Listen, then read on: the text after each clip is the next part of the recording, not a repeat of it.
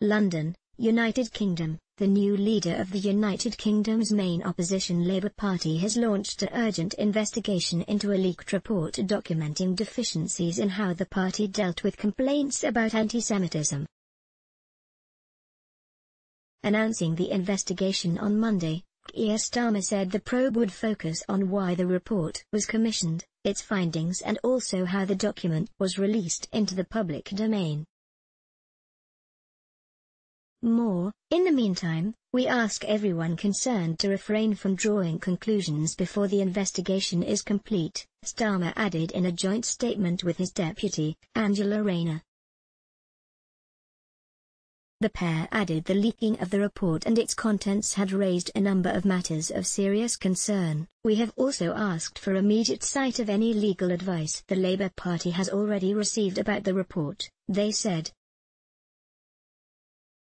191 trillion 205 billion 81 million 541,598 Anti-Semitism probe The announcement of the investigation came just 24 hours after the 850-page internal Labour Party document, seen in full by Al Jazeera, was first reported on by the UK's Sky News. Completed in the final months of Corbyn's tumultuous leadership, the report concluded factional hostility towards him among former senior officials had contributed to a litany of mistakes that hindered Labour's response to a slew of anti-Semitism allegations that had plagued the party since 2016. It also suggested senior party figures were actively working to hinder the party's chances in the 2017 election. The document, dated March 2020, was reportedly intended to be submitted as an annex to Labour's response to an investigation by the Equality and Human Rights Commission, EHRC. Watchdog launched a probe into anti-Semitism within the party in May of last year after a complaint from UK-based NGO Campaign Against Anti-Semitism. Reports suggest the document will not now be submitted to the Commission, however. Labour's press team could not be reached for comment by Al Jazeera on Monday.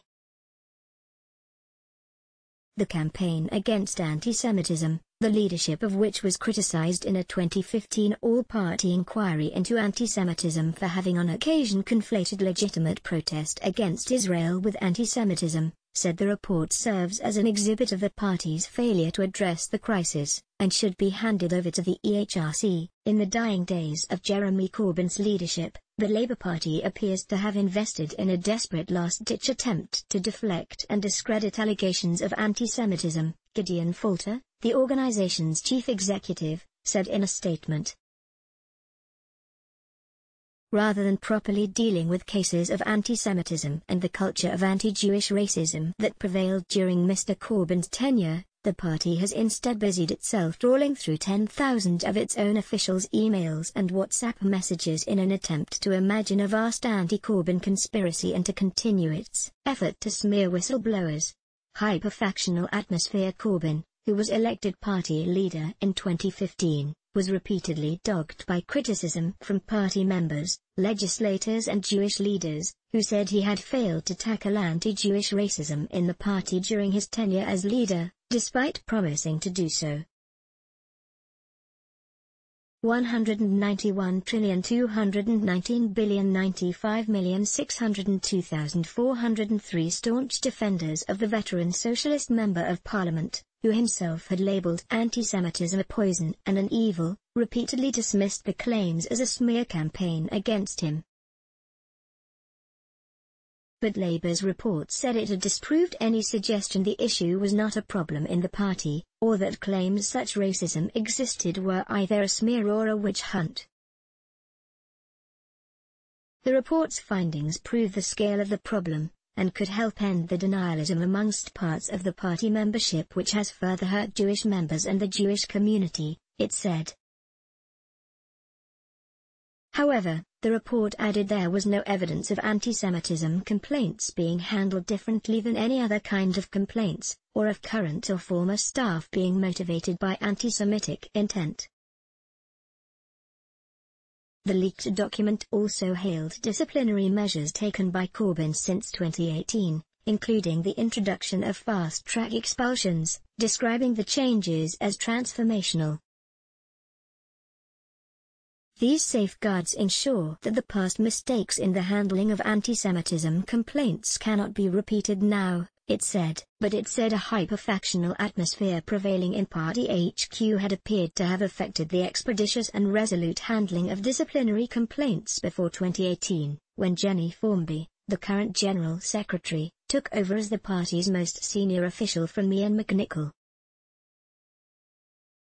180 trillion 814 billion 131 million 144,185 many staff, including governance and legal unit, GLU, staff and senior staff with responsibility for managing and overseeing GLU, were bitterly opposed to the leadership of Jeremy Corbyn, it added.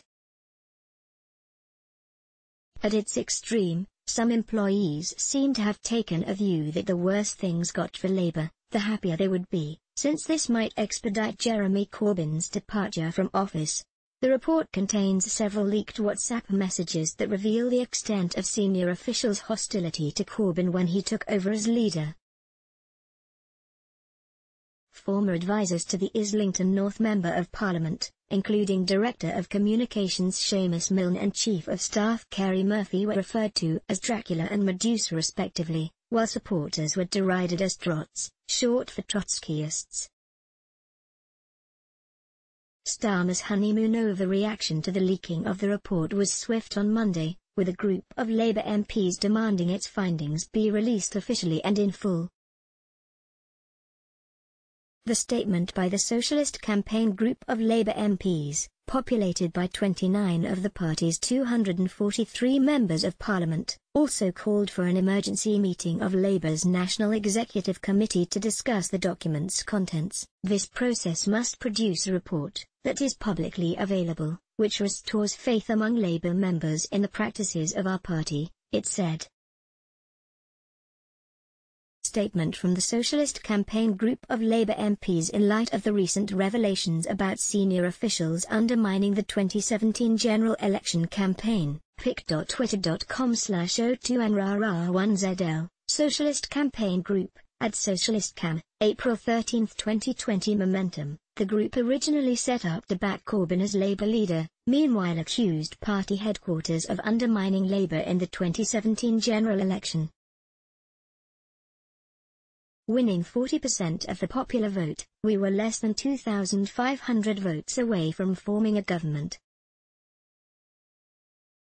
Had we pulled together, we could have won, John Taylor, a member of the group's national coordinating group, said in a statement emailed to Al Jazeera. Those responsible must be held to account, and anyone found to have worked against a Labour victory must never again be allowed to hold a senior party position, he added unacceptable that Labour staff stalled action on anti-Semitism and prevented a Labour government in 2017 members, from left to centre, will rightly expect a full investigation, immediate expulsions, and maximum legal action against those involved. Nothing less will do. Hashtag Labour Report, Kate Osamor MP for Edmonton Vertical Bar, at Kate Osamor, April 13, 2020 Analysts, meanwhile, said the fight had effectively ended new Labour leader Starmer's honeymoon period. Starmer, a knighted barrister and former UK Director of Public Prosecutions, fended off a challenge from two of his rivals in the party, Rebecca Long Bailey, a Corbyn loyalist, and Lisa Nandy, to be elected as Corbyn's successor on April 4. Clearly, there's still a huge amount of factional infighting going on, and that, I presume, will continue for some time, Tim Bale, a professor of politics at London's Queen Mary University, told Al Jazeera. 180 trillion 928 billion 72 million 852,455 Bale added the dispute may largely go under the radar among the electorate with attention overwhelmingly focused on the UK's battle against the coronavirus pandemic, but warned it would do little to help their bid to break the Conservative Party's more than decade-long grip on power. Unfortunately, This will give the impression that Labour is intent on fighting like cats in a sack rather than prioritising the needs of the country, he said. Clearly this is a serious story, and at any other time, Labour would suffer a great deal from the row, but given most people have far bigger priorities at the moment it's likely to pass unnoticed among people who quite sensibly don't pay too much attention to politics. Let's block ads. Why?